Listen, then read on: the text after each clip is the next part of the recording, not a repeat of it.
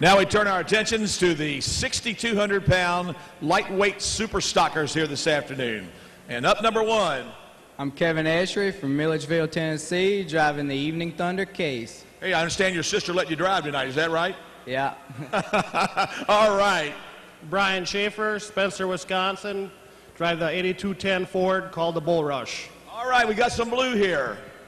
Uh, Jay Fuquay from Springfield, Tennessee, driving a MX 270 called Tenacious. Tenacious, little super stocker. Uh, Daryl Meese, Oblong, Illinois. We drive the Squealer. Watch that John Deere, ladies and gentlemen. Al Cook from Indianapolis, Indiana, driving an ag goat called the Entertainer 2. All right, we got some orange there. Tom Wilhite, Bardstown, Kentucky, the 8260 New Holland Blue Blazes. All right, we got the blue blazes here. All right. Kevin Falks driving the Walking Tall Ford out of Crittenden, Kentucky. All right, another good Ford. Mark Pleisic from Dorchester, Wisconsin, driving an 8260 New Holland called the Bomb. The Bomb is here. David Chappell out of Warrenton, Kentucky, driving a Farmall 560 called Let It Ride. All right. Joe Womble from Trenton, Tennessee, driving an International 1066 called the Wampus Cat. All right, the Wampus Cat. Yes, sir. Larry Phillips from Vine Grove, Kentucky, supporting a MX 285 Alcohol Edition. Oh, we got a new tractor here. Ladies and gentlemen, I have to be, tell you who this guy is. His guy's name is Randy Payne, ladies and gentlemen, and he is from Mount Hermon, Kentucky, and he's lost his voice. So let's give him a nice round of applause. John Hall out of Waupun, Wisconsin, driving the Wampum Mini Mo. Wampum Mini Mo. By the way, he drives a John Deere, so I better let everybody know that too. Ivan Carroll from Clarence, Missouri, drive a 570 Cockshutt called the Levy Leaper. All right, the Levy Leaper. And last but not least, John Lancaster from Trafalgar, Indiana, driving the Entertainer, Allis-Chalmers D21. All right, John is back with us after many, many years. Ladies and gentlemen, what a great field of super stocks we've got. Let's give them a nice round of applause, and let's give all the pullers a nice round of applause. And here we come, twin turbochargers, big ones, running on alcohol. You have to have the block in which the tractor was designed. Then you make your own head, literally make the head convert it to alcohol. Turbocharged alcohol engines.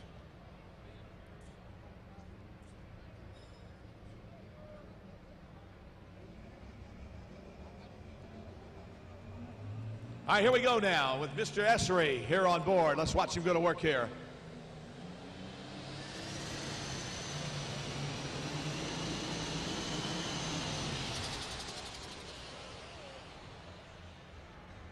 John Deere fans, don't you say a word.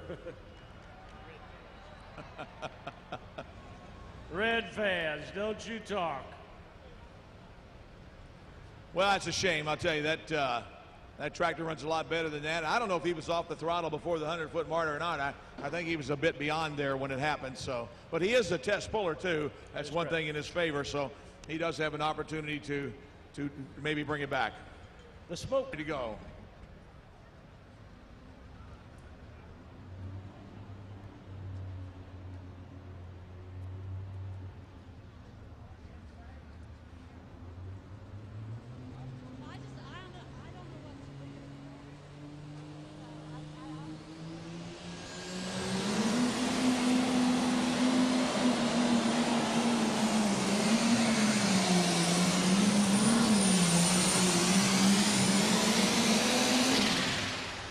And right there. Boy, did you see the wheel spin on that tractor, Harold? Right off the starting line, it was tremendous amount of wheel speed.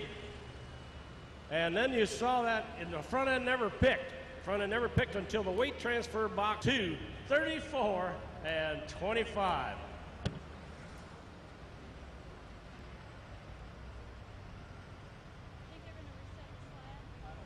Go pulling here with Jay Fuquay out of Springfield, Tennessee, and the tractor known as Tenacious as he comes to the starting line here.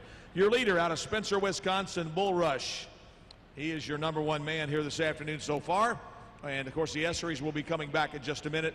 On deck will be Daryl Meese in our first John Deere of the afternoon here today. Right now, do we have any red fans? Come on, red fans. We don't see our IH flag. Guy must still be recovering from last night over there, the guy with the IH flag. Yeah, our IH flag went by the wayside. All right, let's see what happens here now as they get ready to come to the line here. Hope it didn't wind up in jail. I hope so too, Harold. Yeah, some of the fans have been known to kick up their heels a little bit when they get to uh, Louisville. They've been cabin fever too long. But so many of you fans really look forward to coming to the National Farm Machinery Show. Great to have you here on behalf of Syngenta.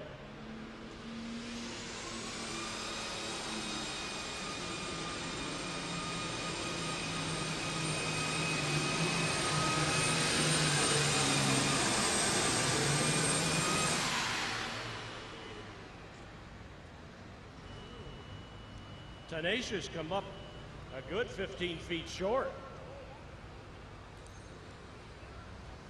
I think that tractor could run it just a little bit better than that. I don't know. He may have picked a wrong gear here this afternoon, Harold. Also, I'll tell you, for Jay Fuqua, Fuquay, 208 and 87 for the man out of Springfield, Tennessee, here this afternoon. Well, ladies and gentlemen, I'll tell you what. Here is a man that can absolutely. We were talking about speed a while ago. Here you go. This guy has pretty much, along with uh, some of the guys out of Wisconsin, um, and Kevin Folks and a boys, a few of these guys have really developed this alcohol with these tractors. And here is one of them right here in light super stock. Well, they call it the squealer. He's kind of in, into the pork production. And this tractor also, we've seen it load down, put all the weights on it, run in with the big boys. That's right. He can do it. We got him right there. All right. Some of you guys like to see the first green one in the sand. Here's the first green one of the afternoon, John Deere fans, and here we go.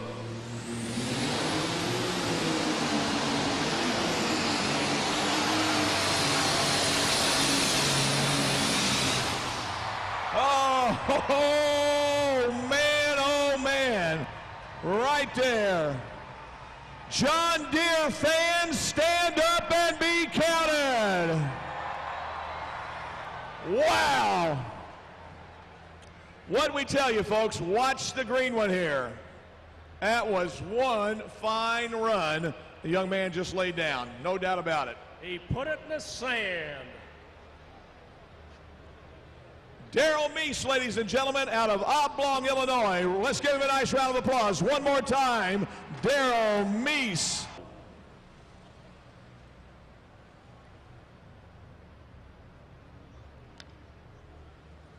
This is just the, uh, yeah, this is the Entertainer 2, and then the Entertainer, these guys are campaigning two tractors now. I think so. Yeah.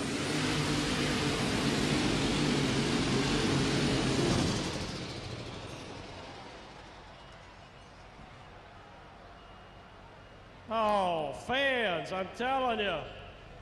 I don't like to hear all that. Well, ladies and gentlemen, let's put your hands together for Al Cook. What do you say, ladies and gentlemen? Give him a little bit of encouragement.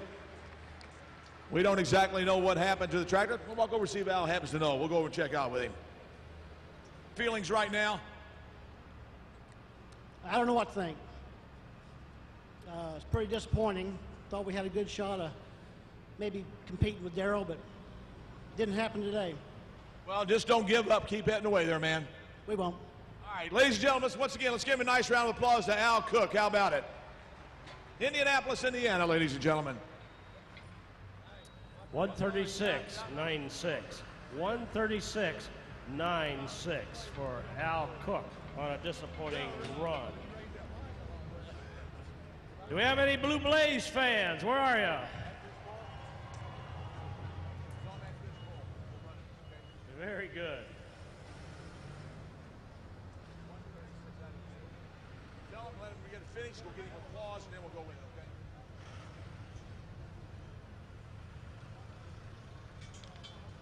Yeah, disappointing 136.96 here today for 244 will be a full pull. 244 will be a full pull. We have one tractor out the door right now. 244 will be a full pull here today. All right, here we go. Here's the boys out of Bardstown, Kentucky.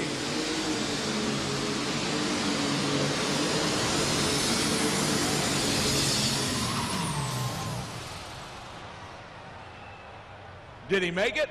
I don't know. He backed out of her. He sure did. I think that sand pile started scaring him a little bit. I really think it did. he We got a little flame in there, guys, or I think they got it all taken care of. Wow. Remember, 244 is a full pull.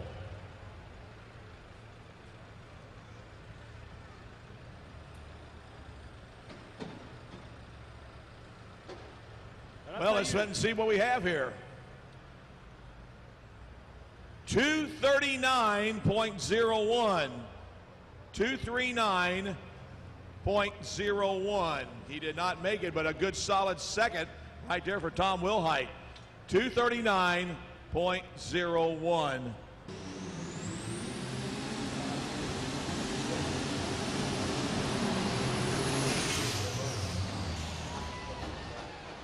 Wow.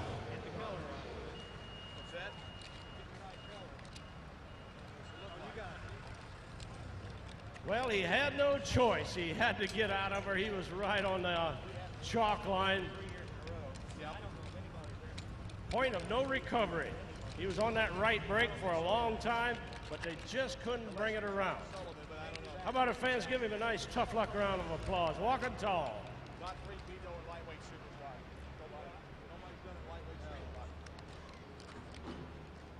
Excuse me, Harold. Don't worry about me. You just go on and take care of the show. I'm over here doing my work. Don't worry about it, Harold.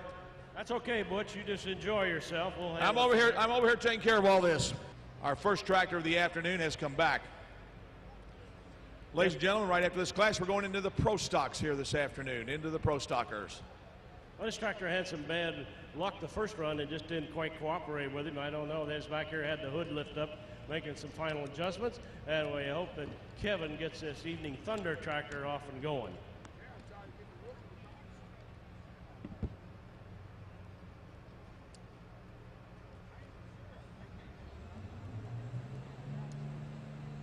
I think it's the only case tractor in the field.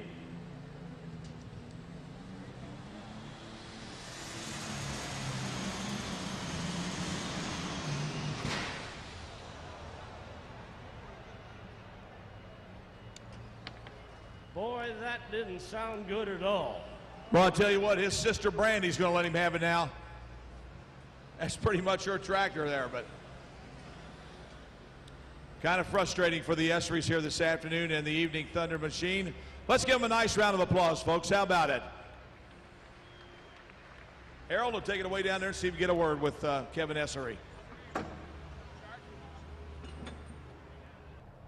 Okay, fans, remember 244 is a full pull. We only had one of those so far. That's that squealer tractor.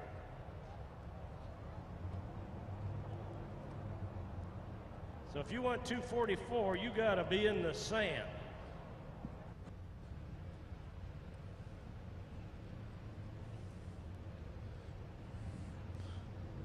Very good tractor out of Wisconsin, out of the Badger State Pullers up there way, folks. Here we go. David Chappelle on order, I mean on deck with him right after this.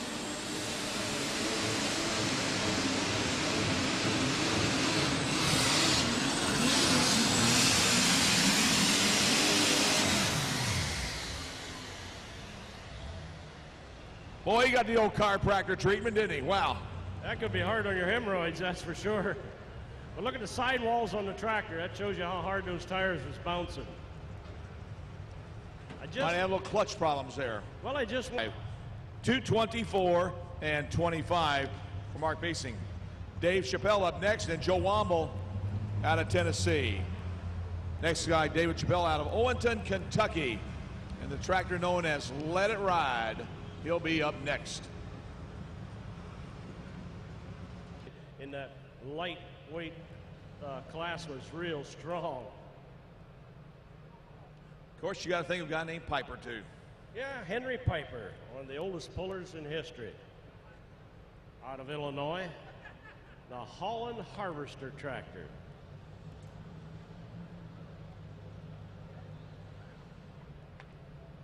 All right, here we go.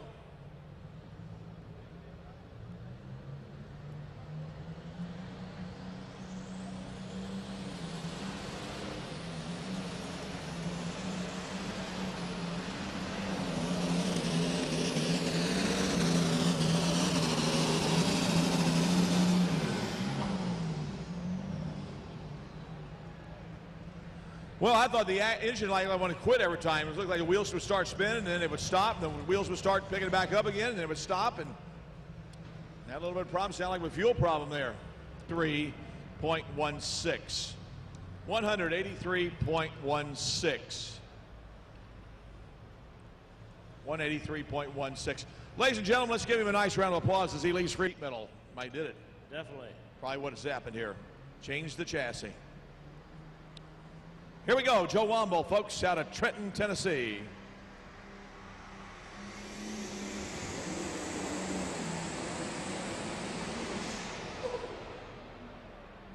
Butch, did you see that? His right wheel, he was on the brake so hard. Did you see the, the fire come right out of that right big disc brake? A lot of sparks. A lot of sparks. He was sparking that. He was on that brake from, from day one. There's something wrong down there, and we'll go find out what it is.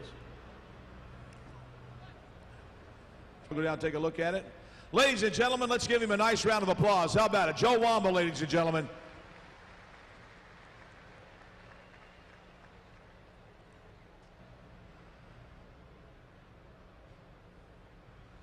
Well, Butch, that rear end is so hot in that little bit of a distance, the smoke is still coming out of there.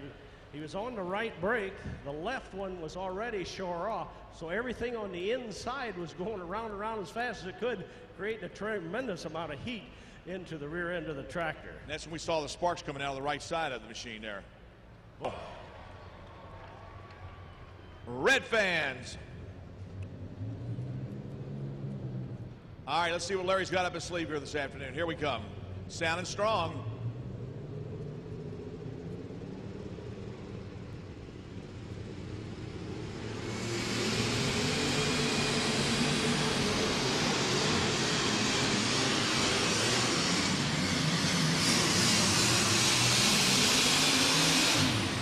Oh, man.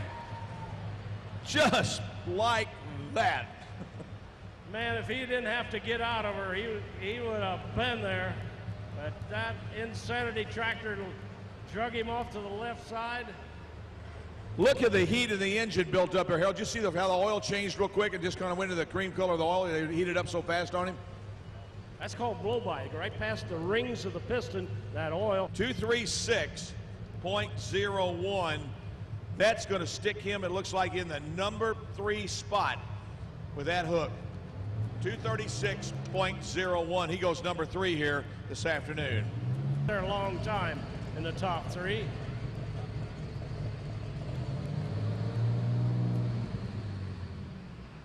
How about the Red fans? Are you happy to be in the top three? Where's the Red fans now? And it's a good little tractor, too. See that red one's on the bump spot, three. I'll bet these green fans would love to bump that red one out of here. Could easily happen right now. Let's find out. Here comes Randy Payne, Mount Hermon, Kentucky.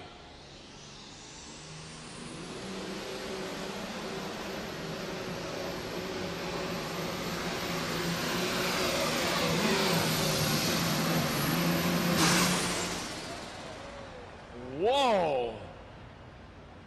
Boy, it's just in Randy's day, I'll tell you. A smokestack right there in the tube. Oh, the duct tape broke. Okay. You mean the duct tape didn't hold for once in its life here? I don't believe it. I don't believe it. 8.86. 203 and 86 for Randy Payne, Mount Hermon, Kentucky. What do we got coming up next, Butch? A little mini mo coming your way. A Minneapolis Moline. Hey, we never asked if we had any Mini Mo fans. Do we have any old Mini Mo fans around here yet? You bet. Mini Mo, many, many years ago. One of the strong tractors.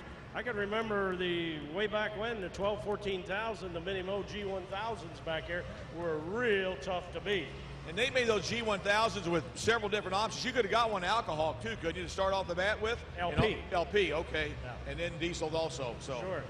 I can remember Myron Riddle had one here. It had a sign on it, power without smoke, the G1000 LP.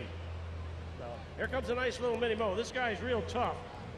Now, this is John Hall. We also had the other brother, Aaron Hall. It's got a little bit bigger tractor that he runs also alcohol. And he did not have it here with us this weekend, but he generally runs in the heavy in the heavy uh, super stock alcohol. Aaron Hall does. They're all both of them out of Wampum, Wisconsin. Have you ever been to Wampum, Wisconsin? Never in my life that I know of. Do you want to go strong?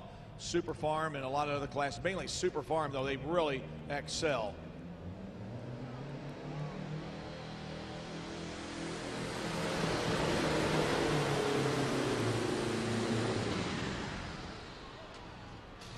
Well, Well, he backed out of her. They'll probably take him back and get him his second hook at it. fans, they, uh, if you're off the throttle before the 100 foot mark, you have the right to take it back. And you get your set, you get two chances to move the weight transfer machine and then uh, take it on back. You know, we were talking about this weight transfer machine, but you know, a lot of people we talked to, they right. So when the back of the pan starts, that's when it's pulling. That starts getting pretty tough.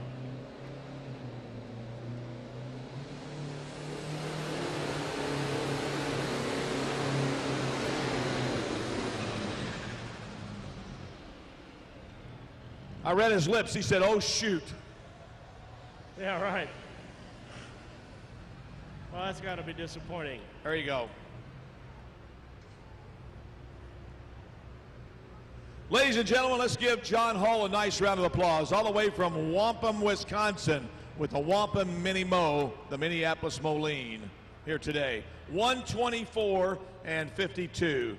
124 and 52. I don't know. Hall. These were uh, Canadian made, American assembled, the Cockshutt tractor.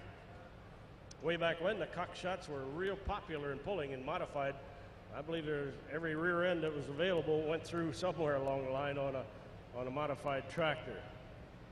But this is a relatively latest model of the Cockshutts made. There wasn't too many made after this model right here. Let me ask you this, Harold. Let him, let him- run and I'll ask you the question because I always wondered this.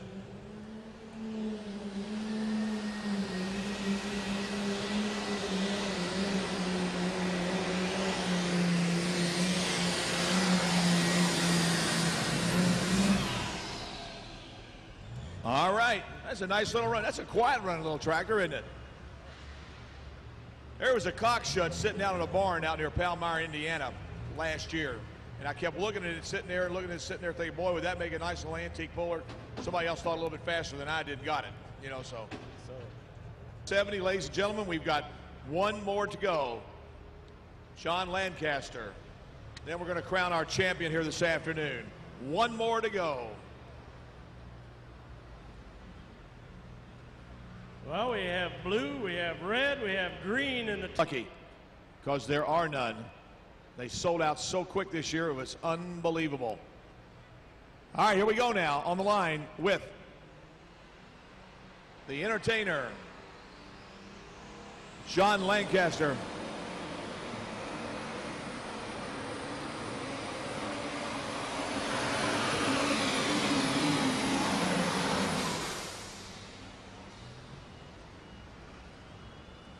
Well, the entertainer didn't get the job done, Butch. But, that driver's got so much history in this building. How about it, fan? Let's give him a nice round of applause. John Lancaster. The old D21. As soon as we have his disc Row 0.61. 190.61 here this afternoon for John Lancaster. tractor. Number 14 went to the Wampus Cat tractor. The 13 spot went to Evening Thunder. 12 went to the Minneapolis Moline.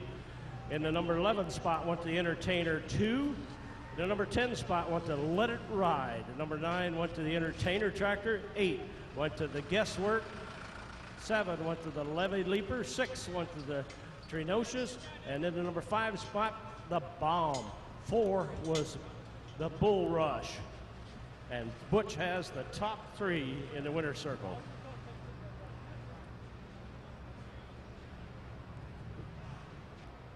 To win a class three years in a row has to say something about you and your tractor and your people that your mechanics, your your engine suppliers, whatever.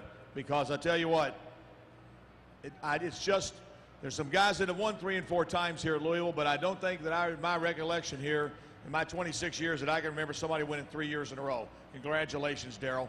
Well, thanks, Butch. I mean, it's really an opportunity to get to run here to begin with, and and and and to win this thing three years in a row. It's just something that you always think about, but never really figure that it'll happen. You always think something will go wrong, stub your toe, miss your weight. But I got to thank you know Brent Long Long Machine for supplying an engine that that just seems to run strong and ever and ever and and and the drive line and everything we've got it beefed up pretty good and and these old wore out set of tires J&L does a good job on them and and uh, just everything works Have you ever thought about trying to jump up to the big boys, run up with the uh, the Lustigs of the world, the Kwiatkowskis of the world? Have you got any plans to do that?